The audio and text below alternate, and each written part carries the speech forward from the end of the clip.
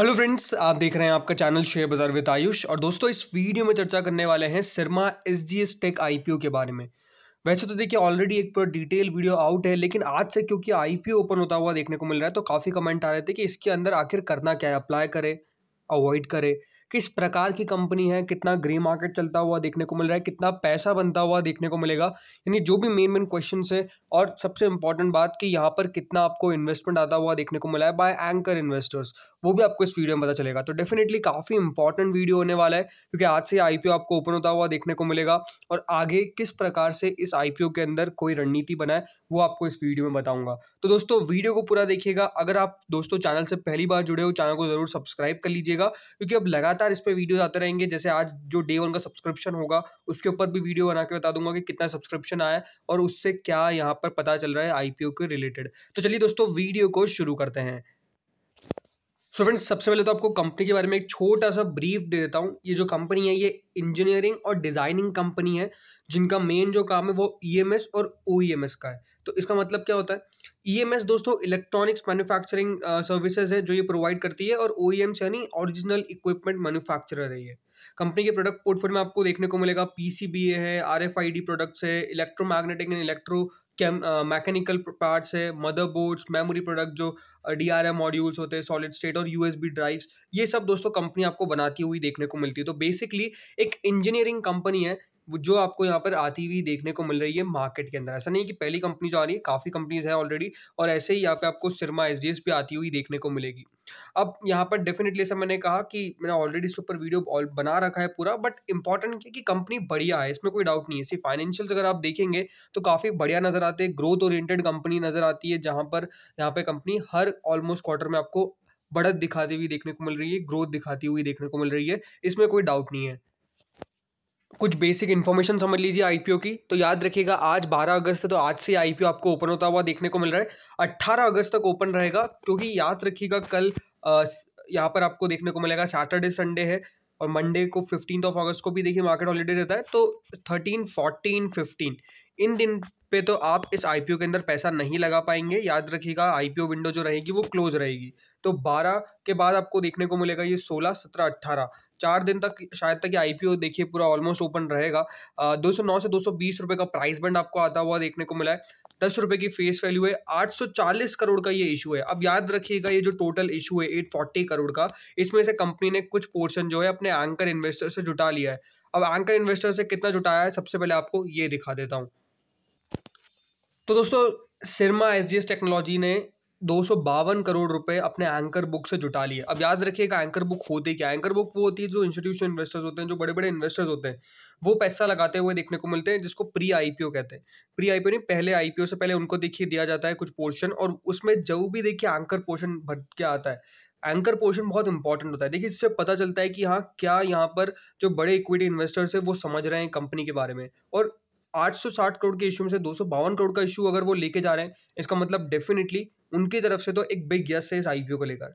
इसमें बड़े बड़े नाम आते हुए देखने को मिले। कौन है मार्के इन्वेस्टर्स आपको देखने को मिलेगा नोमुरा यहाँ पे आपको देखिए नोमुरा देखने को मिल रहा है ईट स्प्रिंग इन्वेस्टर्स देखने को मिल रहे हैं Volrado venture partners fund Abacus emerging opportunities fund Malabar select fund Kuber India fund और फ्रैंकलिन इंडिया तो डेफिनेटली बड़े बड़े एंकर इन्वेस्टर्स एंजल इन्वेस्टर्स आपको यहाँ पर पैसे लगाते हुए देखने को मिल रहे हैं। मार्केट इन्वेस्टर्स का पैसा आता हुआ देखने को मिला है इस इशू के अंदर। Total two fifty two point zero four crore के लिए उनकी तरफ़ से यहाँ पर लगाया गया। टोटल एटीन एंकर इन्वेस्टर्स ने इस आईपीओ के अंदर पैसा लगाया है।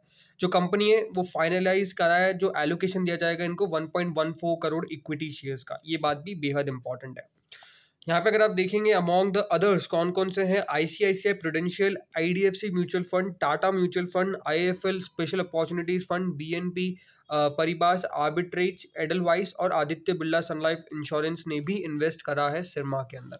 तो कह सकते हैं कि हाँ डेफिनेटली अगर आप एंकर पोर्शन देखेंगे तो बड़े बड़े नाम यहाँ पे आपको आते हुए देखने को मिले, जिनकी तरफ़ से काफ़ी अच्छा पैसा लगाया गया है और ये अपने आप में देखिए एक बेहद पॉजिटिव साइन होता है कोई भी इन्वेस्टर्स के लिए कि अगर आप किसी आईपीओ में लगा रहे हैं और उसमें पहले एंकर पोर्शन अच्छा बढ़ता हुआ देखने को मिलता है तो वो एक फ़र्स्ट स्टेप होती है कि हाँ इस कंपनी में पैसा बन सकता है। तो अब डेफिनेटली आपके दिमाग में क्वेश्चन आ रहा होगा कि अगर 840 करोड़ में से दो सौ बावन करोड़ उनको मिल गया तो अब हमारे लिए कितना बचेगा? तो देखिए, इसके लिए भी काफ़ी रेंज होती है। कुछ क्यू के लिए जाता है, कुछ एन के लिए जाता है कुछ रिटेलर्स के लिए जाता है, कुछ एम्प्लॉयज़ के लिए जाता है। अब इसमें देखिए कंपनी ने एम्प्लॉयज़ के लिए कोई भी अलग से कोटा नहीं रखा है तो यहाँ पर रिटेलर्स क्यू एंड एन है। अब कितना कितना पोर्शन उन सबको मिला ये भी आप समझ लीजिए। तो देखिए, इस तरह कुछ ब्रेकअप है आप पूरे हंड्रेड परसेंट का जिसमें से याद रखिएगा क्यू आई बी को करीबन one eighty eight crore share one eighty eight crore rupees के शेयर ऑफ़र किए गए twenty nine point nine five percent N I S को वन थर्टी टू करोड़ के शेयर हैं ट्वेंटी वन परसेंट और retailers को फोर्टी नाइन परसेंट के share offer किए तीन सौ आठ करोड़ के.